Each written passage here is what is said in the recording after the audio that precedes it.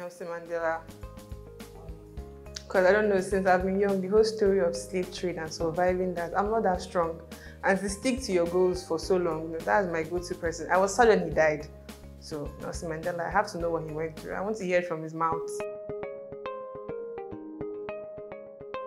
My name is uh, Anikolaji and I am a customer success intern. My name is Cindy Momodu and I've been at Software for about five months. My name is um, Olagunju Bashir Olani and I'm a customer success intern.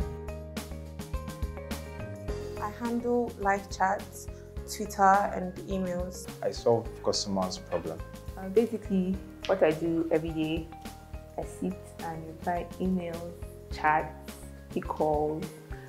Yeah, basically I attend to customers' needs. I pick number two.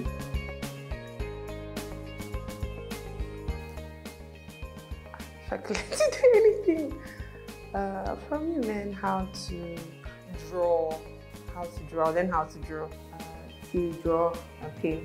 Why? I don't know. I've never been good at it. Never. And I really like like it.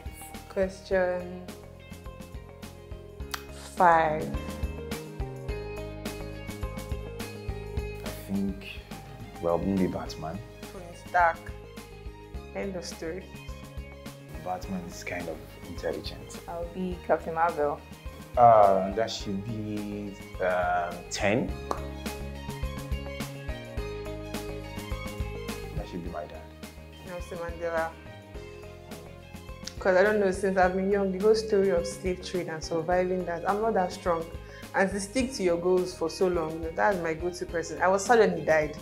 So Nelson Mandela, I have to know what he went through. I want to hear it from his mouth. You know, you tend to know your father at a young age, but you know, when it comes to adulthood and you know, that father, that father figure is missing. You know, when I want to tell him stuff about, well, about girls, about life, about everything.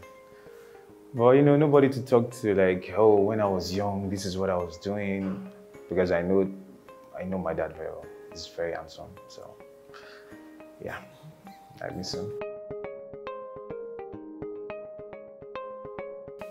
If I could tell anybody anything, I'm going to put it out there that you don't have to do what you studied in school and you don't have to get your dreams achieved in one day or in a year. Find what you have to do and then do well. Be open to trying new things and have fun with what you do because if you actually don't like what you do, I don't think you'll be happy wherever you are. So just be open-minded and expect anything. I'm so proud to be of Flutterwave family. Yeah, honestly, I am. I am.